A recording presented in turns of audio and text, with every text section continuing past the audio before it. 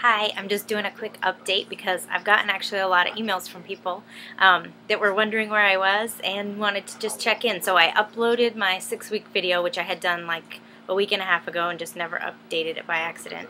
Um, but watch, I got something to show you. Ready, ready, ready? Look, I can lift my arm over my head.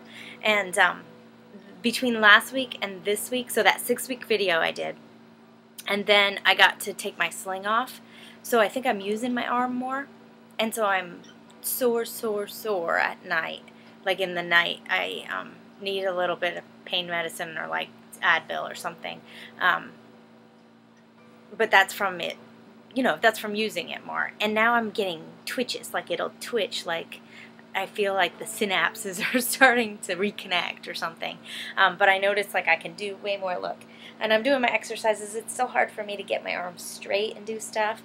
Um, and if I'm being honest, I'm not really super good about my exercises. I'm trying. Um, but I have been cleared to run, and so now I'll probably do those exercises because I'll feel like my running's actually doing something. So, um, anyway, things are going really good, so I just wanted to do a quick update, and um, I hope everybody that had their surgery in the last couple weeks, it's going well, and um, I'll update again in a couple weeks. I'm going to start working on doing the exercises better, and I'll update, and we'll see what kind of progress I make. All right, good luck, y'all.